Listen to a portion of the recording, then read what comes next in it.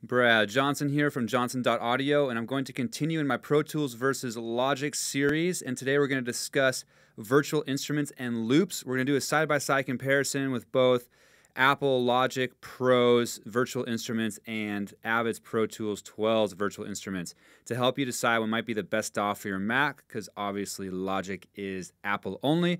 I am going to move forward now. So, right now I am in Logic. I have an instrument track here to open your virtual instruments, you're going to go to this little area here, hit the down button, and you're going to have a folder open up. And Logic is super cool because it has lots and lots of virtual instruments that come with it. You have Alchemy, which is just going to be um, a super just tweakable synth. You can do all kinds of stuff as built-in effects. Um, you can do arpeggiations. Here's the effects area.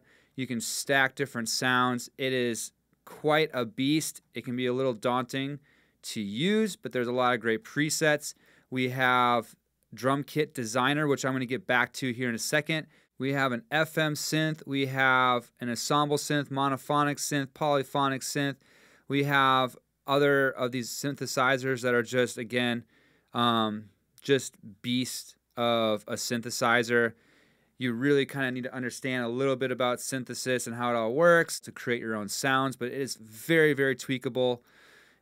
A little daunting at times. You have a vocoder, we have a sampler, we have a analog retro synth.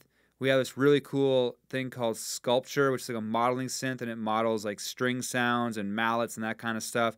We have our drum machine, the Ultra Beat. Then we have a B3 organ, a clav, and then the electric piano. So we have a lot. And then we also have this drum machine designer, which you can do all kinds of crazy stuff with. Don't forget there are presets with all these. It's usually a good way to start. You can open up this area and go and take a look at everything. So Logic Pro has a lot of virtual instruments. It's almost overload if you ask me. It's great that they have all these, but it can be almost too much. All right, I'm going to go over to Pro Tools and we're going to take a look at Pro Tools virtual instruments. So right now, you would have to create a virtual instrument track and then you would select it by entering or inserting a plugin and it would be under Air Music Technology. And the ones that we have down here is we have Boom, which is going to be the drum machine. We have DB33, which is going to be a B3 organ. We have mini grand piano. We have structure free, which is a sampler. We have vacuum, which is an analog monophonic synth, and we have Xpand 2, which is going to be um, the it's the very customizable synthesizer in Pro Tools where you can stack sounds and get all kinds of crazy stuff going on in here. Very very cool.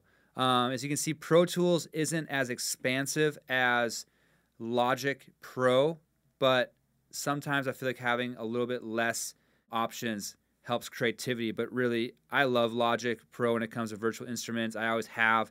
Pro Tools a little more stripped down, but they do sound, I mean, it sounds great. Now we can kind of go and see how this would work. I have Xpand on here. I'm going to hit Control equals, and it's going to open up the piano roll here. We can select our pencil tool, and we could just start drawing in notes. We can stretch them. Do all kinds of stuff and you'll see that we have sound. And if I hit option equals, it opens up a MIDI event list and I can actually um, make adjustments to my notes if I want to. I can do all kinds of stuff manually if you want to do that. You can also do editing stuff down here where I could do MIDI volume. You can draw stuff in. I could go to pitch bend. I can draw stuff in and you can do all kinds of stuff down here like this kind of like automation but in the MIDI realm so you're just affecting the MIDI parameters and that's going to give you that kind of flexibility. If I head back over to Logic I am going to go ahead and just select I'll select this harpsichord. I'm actually going to open up my window here and you can hear the harpsichord. It's the same style MIDI editor that you saw before. And again, I can just go ahead and start entering in my notes. I can do quantization. I can actually go to the key here, so that way I can only I could select everything and just quantize it to D major if I wanted to. You can mix with velocity over here. And then here's global editing that you can do. That's kind of like the main window here. If I click on this, it opens up this piano roll. We'll get rid of these windows. And I can do this right here is going to be MIDI draw. It's going to be very similar to what you saw over here in Pro Tools. And again, you can affect all different kinds of parameters. Again, you can just draw it in and make stuff happen. We also have this step editor where you can affect different parameters and notes. And one other thing about Logic that's super cool that I wish Pro Tools had, but it doesn't, is drummer tracks. So I'm going to go up here to track. I'm going to create a new drummer track. It opens up this drummer track. I'm going to hit Y to open up my library. And you can choose different style drummers and different drum kits. And it will actually give you drum beats. It's super cool to be able to just kind of throw down a drum beat over stuff that you're doing pre production for. You could probably even use it for your actual productions if you wanted to. It's very customizable. So I'm going to move on to loops because there's a few things about this right here that you can kind of copy in Pro Tools. I'm going to show you how to do with loops. So if I go over this loop area over here, you're going to find all the loops. You can do all the genres, instruments, moods. These are all of Apple loops. Comes with so many, it's nutty. You can just drag and drop them into your session as you see fit. Bam. I'm going to go over to Pro Tools, go over to Window. We're going to go to Default Workspaces. This will open up a window where you can select loops from your hard drive. I'm going to go to Library Audio, and I can use Apple Loops. I can use Avid Loop Master, so I can use all kinds of stuff in here. And if I go to Apple Loops, I can actually go to the drummers and I could throw in drummer tracks so I could listen to it. So you get all those different drummer ideas. You can't customize it like you can in Logic, but if you're using it just for pre-production just to get an idea down, you can um, use it in Pro Tools. So that's pretty cool. So the loops are over here in Pro Tools. You find it by going to the folder in your on your hard drive by going to the workspace.